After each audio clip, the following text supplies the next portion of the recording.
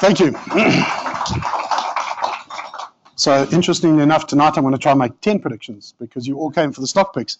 Um, so, a little bit about the, the brief buying when the market is at all time highs. I mean, the, it's scary to get involved in the equity markets at the moment because they are pretty high. Whether in the US, as Simon said, whether the US, and by the way, the Zim market is at all time highs as well. The Nikkei is right, not at all time highs.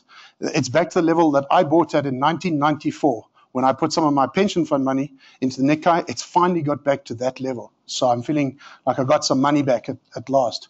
Um, so I'm going to jump straight in. Um, for those of you who like technology, every stock pick uh, that I'm going to show you tonight is actually available online in real time with my trading desk. So we run a little piece of technology called Telegram. It's not ours. It's a publicly available. It's a free piece of software. If you note down that URL, type that in, go to Telegram, and you'll see all of these stock picks. And, and, and also what you'll have is interaction with my trading desk and my analysts and my portfolio managers, and you can ask them questions. So every one of these stock picks you'll see, I've taken a screenshot from Telegram and to show you that it's real, we do put these things out in real time. Um, and that's kind of what Telegram looks like. It's a chat environment, and you can ask us questions. You can see LD is Lester, uh, who's one of our uh, technical analysts. So why are we here? And uh, sorry, Bloomberg. Bloomberg is always a, a, black background, so it doesn't make for great pictures. But that's a Bloomberg uh, screenshot of the all share. Is that the all share or the? No, I think that's the top 40. But what's essentially from 2007, 2008, when we had that scary sell-off, it's sort of almost been a one-way trip. And um, we've been talking about the end of this bull market for probably, I suppose, since about there. So it's about three or four years. Everyone's been saying, when's this going to end? When's this going to end? And we've been going roughly sideways for the last year and a half. But you can see that trend is still very much intact. And the other thing is that it's becoming very expensive because that's price earnings multiple of the market. And I'm, I'm going to talk a little bit more about that just now. So this is compliments of ABSA. The one good thing about being on a stockbroking desk, you get great research from all the banks and, and, a lot of the asset managers. So never be shy to ask your stockbroker, you know, what he's getting, what research he's getting in, what he thinks, because he should be sitting on sort of uh, information and research like this. So this is from ABSA uh, stockbrokers, uh, ABSA Asset Management, and you'll see at the time when they put this out, which was about a month ago, they were saying that the that the PE of the overall market is at 19 times, which puts it quite expensive. Not as as expensive as it could be, but quite expensive. And they were saying, based on that, there, there can only be two things that can happen against the average of 12 and a half uh, from a historical PE point of view. Either the share prices have to come down or earnings have got to come through. To, I mean, that's it's a price earnings multiple. Only two things can happen: price come down or earnings go up. Well, I don't think earnings are really going to go up that much. So that means that sometime, and it might be, unfortunately, it wasn't today before the presentation, prices are going to come down. And I think we will get a sell off and it will be sometime in the not too distant future. So I think one of the, the things I would like you to take away from this presentation when I get to it just now is that beware of a sell-off because one's going to come. And it doesn't want to move on. So there will be. I mean, I'm sure you've all seen this cartoon where it starts as a buy, ends up as a sell, and markets move in cycles. So we will get a we will get a sell-off, and then it's a good time to get get involved again on the buy side. It's not just us. So this is the MSCI All uh, World Index, and you'll see, I mean, it's becoming quite expensive. That's all the markets in the world in one index. And you can see that is two standard deviations. So we are kind of expensive. So once again, another little little joke. The snow is falling. Sell snow. Sell snow. Sell sell sell. I think my what I don't want you to take away from this presentation tonight is that the market is going to crash. Um, I think there are opportunities in the market, and I want to take you through a few of them. Here's some that were here this year. So these are the, the, the strongest exchange traded funds in the whole world this year. And interestingly enough, Bitcoin is right at the top. And I, there isn't a day that goes by that I don't get phone calls about Bitcoin, and I'm happy to chat about it afterwards, but I don't think that's the brief of this presentation. The other one that's done pretty well is an exchange traded fund on being short in volatility or risk in the US. So you can see that there is huge amounts of alpha out there. You've just got to look for it. I mean, the top one there is 300% year to date. That's an exchange traded product that's done 300%. So don't be scared to look for alpha out there. There are always places you can make money in a market. What must I point this at that it becomes a bit more responsive? Okay, so the this is the sort of stuff that you're probably coming across and comes across our, our, our desk. You know, Dave Stockman says, get out of the casino, leave, get out of the market. It's going to go 40 to 70% down. Maybe he's right. JP Morgan, one of their strategists says, have no fear. Markets are going to keep going higher. I mean, these are comments that have been made in the last couple of days and just shows you how bi- bipolar this market is at the moment. Wells Fargo sees trouble for stocks, brace for a small slide before the end of the year, 4 to 8%. And CNBC's latest poll expects market to decline slightly into the year end. So you kind of got people telling you it's going up, some people telling you it's going to crash. So what happens if we do get a crash? So let me go back to that one. Markets crash. It happens. It Happens every five to seven years. They crash. They go down quite dramatically. They normally go down between 30 40%, sometimes more. It normally lasts between nine months to 12 months, that sell off, and then we come out the other side. Then we have a wonderful bull market, which normally takes about five to seven years. So we will get one of these in the next, within the next year, we should get one. It's natural. Um, so watch out for them. Maybe make some money on the short side, but that's not my brief tonight because I can teach you how to make money in a falling market. But what I'm saying to you is that there is a crash like this that's due. So be nimble, be quick, stay defensive, be careful. Don't expose all your money to these markets at the moment because you are going to get one of these and you are going to get one of them shortly. There is a school of thought that out there, and this is do yourself a favor, go onto a, a website called StockTwits. They do wonderful tweets, and they have a great community of people who are quite educated and are quite outspoken. And I love this guy because he's saying, I'm going to have to tell my kids in 10 years from now that the market never goes down. And this was only posted a couple of weeks ago. And he's right. The US market at the moment just doesn't want to go down, it just keeps going. So that's the problem with being one of these naysayers who say the market is going to crash and sitting on the sideline. You might end up sitting on the sideline for a long time. This is uh, Todd, Andrew Todd, Traders Corner. Uh, some of you may have watched Traders Corner on a Monday night. And this slide he put out this morning. And, and I completely agree with Andrew. This market is going up, and every time it sells off a little bit, the bulls just have it. So you can keep going, yeah, I'm going short, I'm going short. But this is the last four days. Now, we've had a client who sat uh, short of the Aussie for the whole week so far this week and has been creamed with this movement up. So you can try preempt the sell off, but you're probably going to be wrong. So I wouldn't bother. Okay, so that's enough of telling you about crashes, etc. Let's tell you how you can hopefully make some money in a market that's going to either go up, go sideways, or go down in the next the next couple of months. So this is the overall market. We break the market up into three three blocks: resources, financial, and industrial. And you can go down to subsectors, but those are the three main um, sort of economic components. So if this is the overall market, this is industrials, mostly the driving force of the market. This is financials. You can see what I've done is this is a three year chart. So you can see over three years, financials have gone nowhere. Resources, yes, we had that wonderful little blip up. You might remember a year and a half, two years ago, and everyone got excited about resources. But since then, we've pretty much gone sideways. So we are down substantially over a three year period on resources. And industrials have been the, the main driver of our market. And we'll unpack that a little bit more in a minute. But what you can see here is that although the market looks expensive, the whole market doesn't look expensive.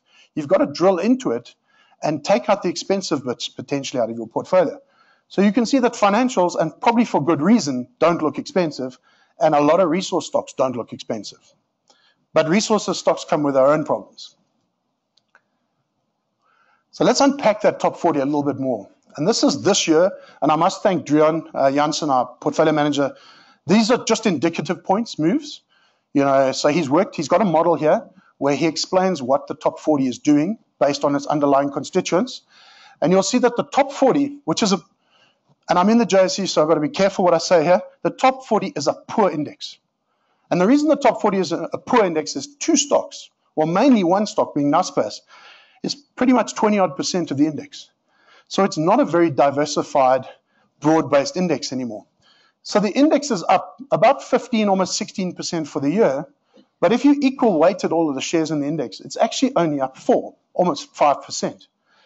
And the reason the index is up so much is because Naspers is up 50% for the year.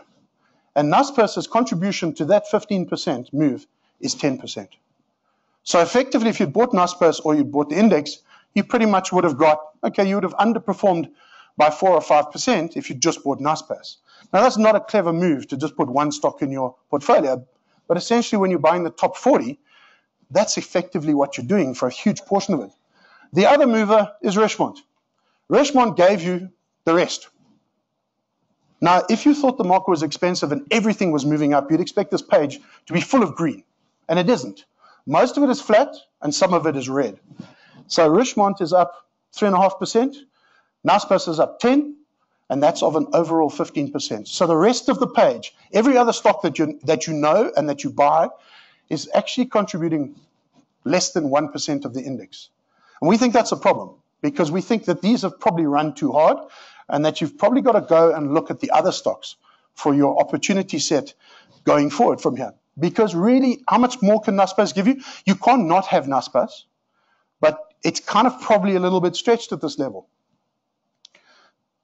So let's go and have a look at this is put out every quarter. Uh, it's done by Sanlam. Um, it's called the Bull and Bear Forecasts. They use seven of the large asset managers uh, to put this research together.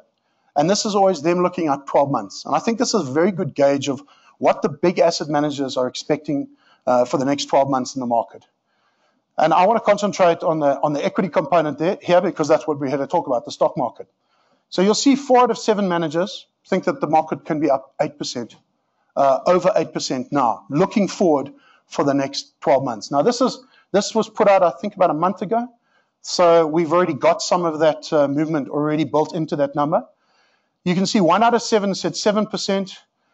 Only one really bullish asset manager, uh, bearish asset manager saying below 5%. Now remember, we can get to 8% by going down 40% first and then going back up 50. I mean, that is a possibility. So they're just saying point to point.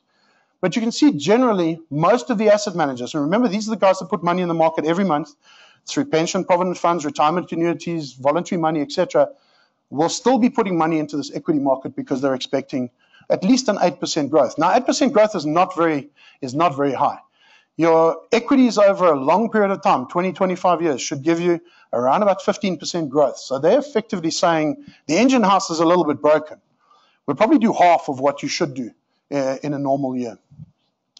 But I still think that's comforting that anybody who's getting involved in this market, there's still some life left in this market.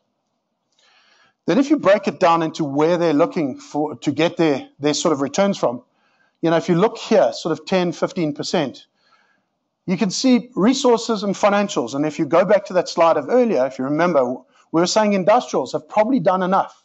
And you can see all the asset managers think that way, that industrials is probably not where you want to be hunting uh, for your alpha at the moment. You probably want to be concentrating on the resources and financials. Um, mid caps, three out of seven managers think that mid caps uh, will give you some value. And I've got, a, I've got some mid-cap stocks that we're going to look at. And they're still saying that value is probably a, a, a place to look. So I think now let's, I've, that was to set the scene of where I think the market is at the moment, where I think that the, the whole market, the, the three sectors, resources, financials, and industrials, where they're, where they're positioned at the moment. So I want to now go into some of the trading ideas that we look at and you'll see what I've done here is every one of them is a screenshot of our chat environment. Uh, and we, this is what you would see if you go into the chat, and then you can click on it and have a look at the chart. So first one I'm going to talk about, Anheuser-Busch. You know, large brewing company. You can have access to it via the, the IDX instrument on the, on the JSE.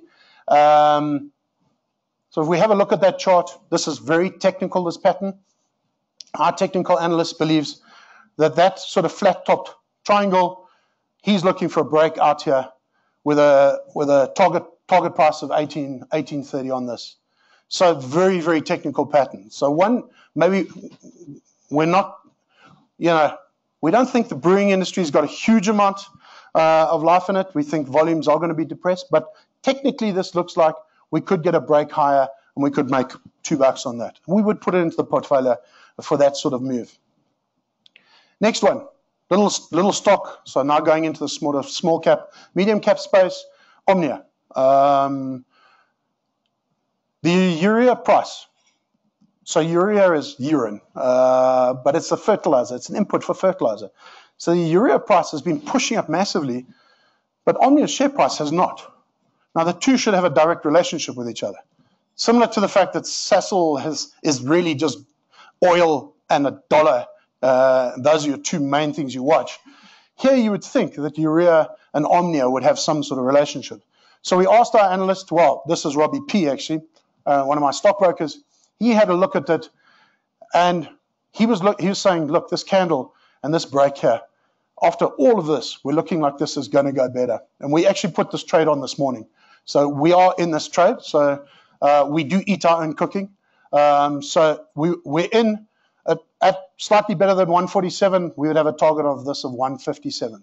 So a mid-cap stock, probably not really covered by the analysts, but which has an essential driver, which is the urea, share, the urea price. Maybe put it on your radar. And these slides are available. That this is being recorded, so you can go and have a look at these and do your own analysis on these stocks tomorrow. Here's one that happened yesterday. This is what we think this market is. It's very skittish. So every bit of bad news is priced in and exceptionally quick. So I don't know if you saw Vodacom yesterday. This is Vodacom's share price yesterday. Bit of bad news comes out, 7%. Now the sad thing about yesterday for us, we put out a buy on Vodacom. We thought it might come back. So this is the, the dilution. Uh, it just issued stock, diluted down, and it got punished a little bit for it, and you've got that gap there we thought we might see it come back up here or come try fill the gap. So we actually got in yesterday, and then the bad news hit. And we almost got stopped out intraday on our trade.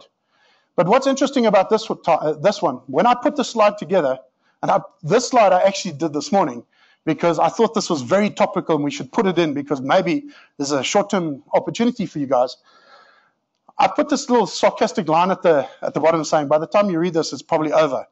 Well, guess what? It was. Now, I don't know where it closed this afternoon, but my understanding is that by the time I left the office, we had almost recovered the entire yesterday's move today. And that's the problem with this market at the moment. It's exceptionally skittish and it's moving around a lot on news. But that creates opportunities because that is probably was unjustified. It was probably overdone to be seven or eight percent down intraday. We have a we have a rule of thumb at the moment. If there's bad news, we typically don't buy it normally on the first day. We don't buy it on the second day. We call it our rule of three. We wait for the third day. Because by that time, a lot of the loose, the, the, the, what would you call it, the weak hands have dumped their stock and you can probably pick stuff up at a, at a good price. So unfortunately, I think this one's done. I think you can ignore that slide, but look for the next bit of bad news on, on, on a stock that overreacts like this. Next one, retailers. Now, the reason I put a retailer in we don't like retailers at the moment. We think medium term to long term, we haven't got a huge exposure in our portfolios to retailers. We have a little bit of exposure.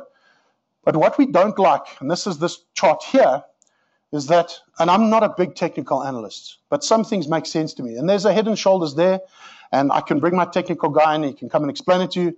But retailers as a whole do not look great at the moment.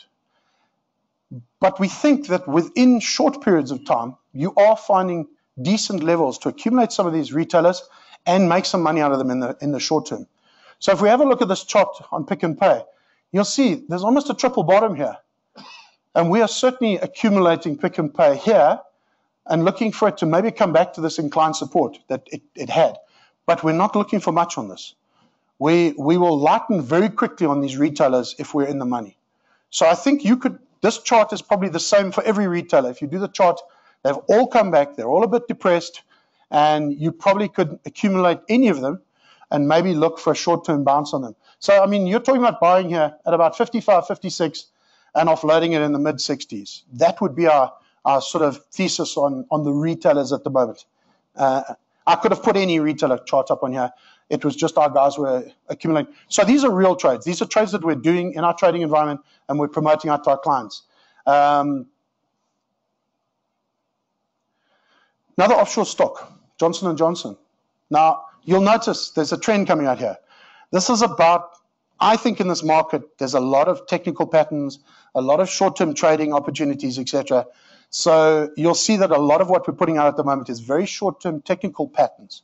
So this one is clearly, there's a sideways channel. Uh, and this is, this is indicative of the chat on the group. Lester puts out, offshore Johnson Johnson managing to stay within the range, sort of circa 129. Me, that's actually my face that I cut off there. Lester, would you buy the range? Hi, Mark. The share would see some resistance, 131.40. If we see a pullback to 129, so that's you would have got that that chat as well because we're all in the same chat group. Yes, I'd buy. So that is one that we have got in the portfolio at the moment for our offshore, and we, we are looking for it just to retrace back to the top of that channel, and then we're probably out because then we're sitting at a sort of triple top and we're probably done on that. This is one that we put out the other day. I'm sure everyone's heard of Anchor Group, Anchor Capital, fantastic business, great little asset manager, listed at three bucks, had a stomp of a stomping of a listing. Thing went up. Can't remember where, where its high was. Well, we'll see now when we look at the chart. Fantastic listing, reached the top, did a second listing of Astoria. Have no idea why Astoria did so well because all it was was a bucket of offshore cash, and you don't pay much for offshore cash. It traded at a premium to net asset value, which it shouldn't do. You can't buy cash at a premium. You, in fact, should short it. So both Astoria and Anchor looked expensive, and they've both come back down. And we think they've come down to probably good levels. So technically, I think they would call that a tweezer formation. You know, it's getting in this really tight. And what that tells you is it's getting very compressed, that, that movement, and it's going to go one way or the other. But if you look at the next chart, listed at three bucks, went all the way up, 18 bucks. Obviously, someone out there thought it was worth 18 bucks. It certainly wasn't us. We did think it was worth something over here, but there it looked very expensive. And they were buying assets, and they were buying very expensive assets. So they bought Capricorn Asset Managers on a seven, I think, uh, multiple of, of assets under management. So very expensive up here, and they were accumulating assets, very expensive with their own paper. And but they did some good deals. Bought good asset managers, set up a stockbroking desk, set up a multi-manager business, and the market has been punishing them, and they've come down and down and down. And maybe we're not going to get in back at the listing price of three bucks, but we think at four bucks. probably not a bad small asset manager um, to put into your portfolio for a recovery. And that recovery could be quite dramatic. You know, we're saying target price of six bucks fifty. Now, if you looked at the Sygnia share price, you'd probably see the same pattern. We also like Sygnia, but we'd like it a little bit cheaper than this. So certainly, small asset managers um, have have had a tough time um, and probably worth looking at, doing some research on, and adding it to your portfolio because we do think, I mean, this is against a market that's been going up, so their assets have been increasing, they're earning more fees, and they've been sliding. Uh, I think they've been overly punished. So if you don't like Anchor, um, there are a couple of other smaller caps out there. And also there are quasi unit trusts that are listed. So Long4Life. You know, came to the market, bucket of cash, you know, fantastic CEO, great track record, uh, did did one or two deals. Every time you see a little spike here is when they announce a deal, and then it reprices. So don't buy it on the day that they announce a deal or the next day, because you can see there's this phenomenal run up. But we think, and this is Robbie's chart, we think that this thing is worth getting involved in. They're starting to accumulate some good underlying businesses. It's like having a listed unit trust and it is just doesn't seem to be able to get going. So you do get movements up, and we think sort of I don't know what Rob's level on this is. It's probably just below six or around six. He's probably looking to accumulate Long4Life, put in a portfolio, and then you've got a couple of decent uh, decent underlying stocks that you're holding via Long4Life. And also, you, you can't you can't beat Joffe's track record. He's going to do something right sometime. Just hasn't been yet. Well, if you exclude that nonsense there, uh, which was when they announced one of their deals. So another way of putting stuff into your portfolio at the moment is, is to look outside of equities. And I'm using Palladium as an example here. Palladium, Palladium and Rhodium have both had phenomenal runs this year. Platinum has not. So the I think the highest moving ETF this year on the JSE is the exchange traded note on Rhodium. It's probably up 38, 40% for the year. So you did well if you put that in your portfolio. But we think palladium is probably a, not a bad commodity to put into your portfolio, and you can do that via the exchange traded note. Uh, Standard Bank has a note on this. Um, so that's the palladium movement in the palladium price. You've had this pullback a little bit. You know, all of those metals had a had a push up, slight pullback, and this is this is the palladium future. But you would you would trade it. We would trade it directly normally in our portfolios. We would trade it offshore directly on the futures. Locally here, you trade it via the exchange traded notes, uh, and they hold commodities. Um, so there is palladium, there's rhodium, there's copper, silver, gold available in our market. There's also oil, um, and we used to have coal, but that's gone. Um, but you at least have got, and then on the soft side, you can add uh, corn, uh, corn and wheat, I think, on the soft side. So you can add quite a lot of commodities as a diversifier in your portfolio. And you can't argue with this. I mean, commodity prices have had a little bit of a charge. Um, and we do think that that, you can see that moving average there is still in place. Came down to test it. Looks like we could probably have a little bit more movement. So maybe add a little bit of palladium exchange traded note into your portfolio as something different. The other one everyone asks me about is gold. So we don't buy gold as an investment. We trade gold.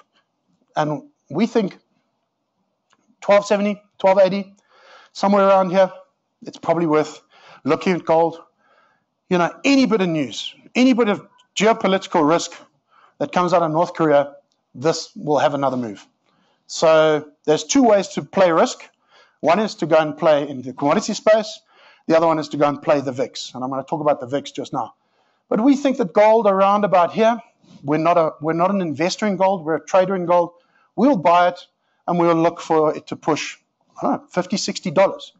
And, and we do get involved fairly short term in gold.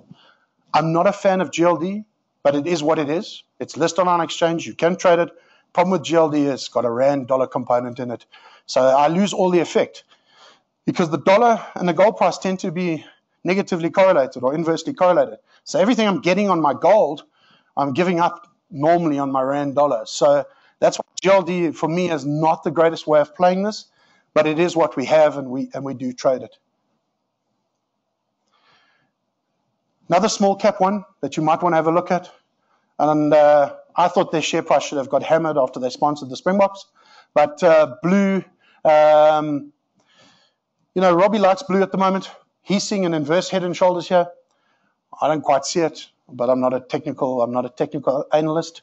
So uh, I'm thinking he well he's thinking 1650. He wants to start accumulating blue.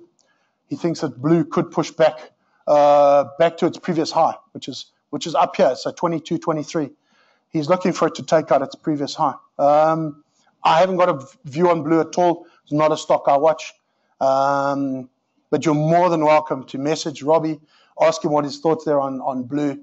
But a, but a sort of mid cap uh, stock to put into your portfolio. Then what we've started getting from clients is um, I did a presentation about two weeks ago. I did a diversified portfolio, and um, the client said, That's very boring. Can't you put something more interesting in? So I've started doing once or twice a week what I call my moonshot trades. And these are mine. These are just my ideas. You know, when you wake up at two in the morning and you get a good idea, you need to write it down. And, and sometimes you get good trading ideas. So I call them my moonshot trades. And I do tend to trade derivatives or options on these.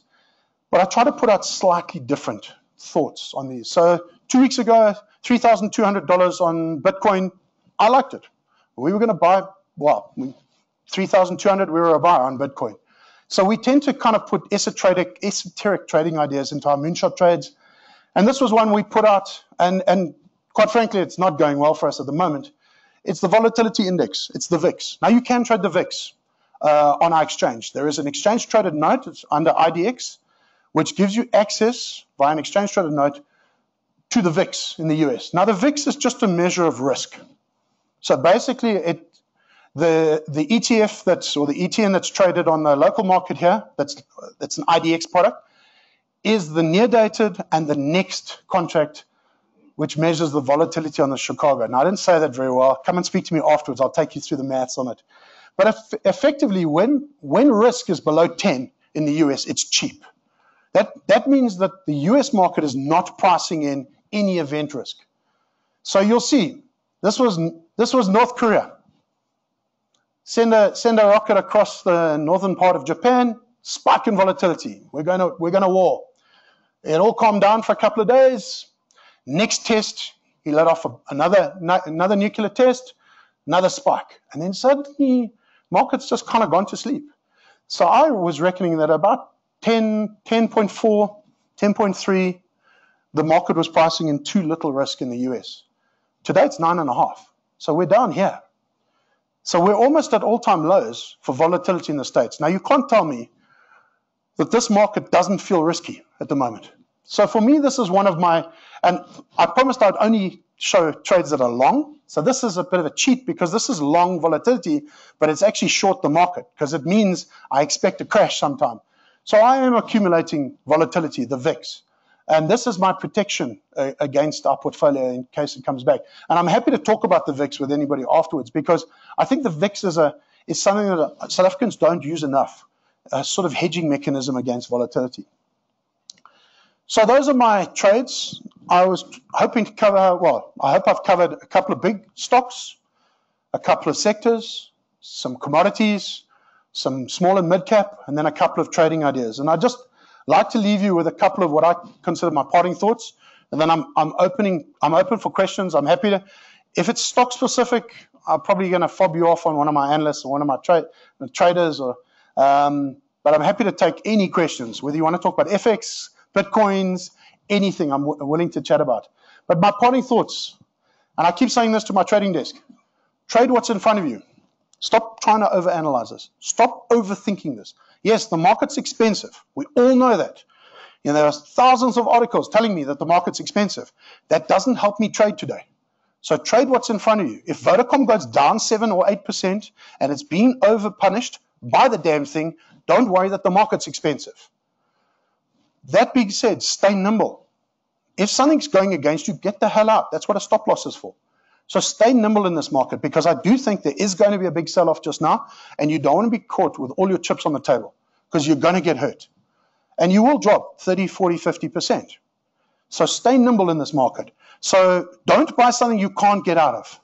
You know, I always used to say presentations many years ago, and it wasn't appreciated, that when I get onto a plane, I read that if you're within seven, seven rows of the door, you'll survive. Typically, people that get die in a plane crash or in a fire in a plane, it's rows after row seven from the door. So whenever you get into your seat, whether it's forward or backwards, make sure within seven seats of the door. Always when you go into a building, know where the fire exit is. In this market, know where the exit is. Because if you go and buy, put all of your money to small caps in this market and you can't get out when it crashes, then you're in for a long time. Then you might as well just pay up, hold it for four or five years, and, and wait to get out of the trough. Mix it up. I'm so tired of stockbrokers who only sell equities. There's such a big asset mix out there. Also, go long, go short, add some pairs. You know, sometimes when you look at retailers, there are expensive retailers, there are cheap retailers. Buy the cheap ones and short the expensive ones. You know, mix it up with some pairs. Add some shorts into your portfolio. So that's going short. There's nothing, going short doesn't make you evil. You know, I don't know why everyone thinks that going short of something just makes you bad. It just means you think it's expensive. And there's a great scrip borrowing uh, market in our country. You can borrow scrip. You can go short most things here. Get involved in the mid and small cap. One of Simon's mates, Keith McLaughlin, great small cap analyst. You know, go read Keith's stuff. He puts out great research on small caps. Lots of unloved stocks down there. Anthony Clark, who used to be one of our analysts, Sometimes he gets it right, and sometimes, like last year, he got it wrong. But you know what? You've got to have a go. So add some small caps. Look at some of these small caps. And some of them are very cheap at the moment. And then add in some commodities. There's nothing wrong putting in some platinum, some silver, some copper, uh, some of these, some softs, corn, wheat, some of these things into your. You know, if it was up to me on our model portfolio, we'd probably have 5 to 10% in commodities. But I always get voted down at our investment committee add some FX. There's nothing wrong with FX. And, and Standard Bank has some really nice exchange uh, FX notes, which are Rand dollar and, and I think Rand sterling, I think are there. Uh, might have rand euro as well, but they've definitely got rand dollar exchange traded note. So if you think the currency was going to get punished at 1280, you should have put it in your portfolio and you'd be smiling now at 1360 uh, rand dollar. Look at volatility. Think about how you can price volatility via using something like the VIX. And then, so all of those are on our exchange. We have them on our exchange, on the JSE. These two, not so much on our exchange. Have a look at some of the esoteric stuff. Why not buy the cannabis ETF that's listed in Canada if you've got an offshore portfolio? You know, you might not like the substance, but the performance should be quite good. So, and, and that wasn't meant to be a pun. I just realized it came out very punish. But I mean, cannabis ETF out of Canada. There's a cryptos, a Bitcoin ETF that you can buy out of Sweden. You know, think about these things about how you can add them into your portfolio because there is alpha out there. And then if you get worried, if you've got a massive diversified portfolio and you're getting worried about it, instead of just cashing out and trying to sell everything, my message is hedge it out because we have a great derivatives market in this country. We have a futures and options market, which is very liquid. You can hedge out most of your risk with derivatives. Phone your stockbroker and say, I'm getting worried. How can you do a derivative overlay of my portfolio and take out the risk? So those are my parting thoughts. So um, how did we do for time? We okay? So um, happy to take some questions. Yeah. Yeah, thanks, Simon. Um, so in 1991, I did my uh, thesis on option pricing theory. And I came up to the JSE and I hoped I'd get employed as a derivatives trader. And I only found there were two other guys trading options at the time. So there, was, there wasn't much job scope. So options are one of my things that I do like. And I, and I, I, I like what Simon's saying there. Most people hedge by buying at the money. Now, at the money is expensive sometimes. So if you have a view that the market's going to go down 40%, why pay for the first two or three or five percent? You know, and if you think the market's going to go down in six months from now, then pay for that extra bit of time because you're giving yourself a lot of time, so you're not fighting against theta uh, on that on the decay on that option. So yeah, if you want to make your option cheaper, buy it slightly out the money. So buy out the money puts, and we can talk about that afterwards. It's quite technical. But price option options. Ask your guys to price your options 5 or 10% out the money because sometimes they're cheap. And I can see lots of blank faces. So we're going to have to talk about that over a beer just now. Um, but you can either hedge doing one or two things. You can either do futures, which is a linear hedge, or you can do optionality, which is options. And both are available on the JSE. And I'm more than happy to chat with anybody afterwards about that. But thank you, Simon. That's one of those deep end questions. What's your view on what's your view on listed properties, especially looking at ETFs from a local and a global point of view?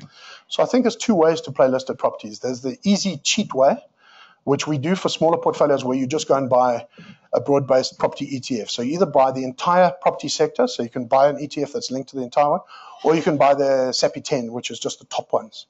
I think you're doing yourself a disservice then because – you probably want exposure to listed property companies that have East European, maybe UK exposure, etc. So the NEPIs of the world, these sort of, you know, now it's NEPI Rockcastle. But if you're going to look in that property space, do your homework and probably pick not the big guys anymore because the yields on that are, are, poor and they've also got a lot of stock. I mean, go drive around Sandton and have a look how much extra stock there is. Have a look at the second tier, some of those property stocks, some of the smaller ones. And maybe what you want to do is for your property component in your portfolio, buy one of the ETFs cheap. It's cheap to go and buy all the property stocks via an ETF and then add one or two sexy little property stocks to it. But not too sexy because there are some right down the bottom that are giving you 15, 16% yields. And the reason they're doing that is they're not particularly, they're, they're quite geared, they're quite risky, and probably avoid those ones. So not the top guys, not the bottom guys. Look somewhere in the between. And maybe look at the guys who've got, you know, European, East European, maybe some UK exposure. Did that answer it for you? I would do a mix of both. And in fact, that's what we do. We tend to buy the ETF and then we add two or three property stocks to that in our portfolio. Global property, so most of our clients are local. So they have local rands. So there, once again, you can cheat you can go and buy uh, CoreShares of a fantastic global property portfolio ETF.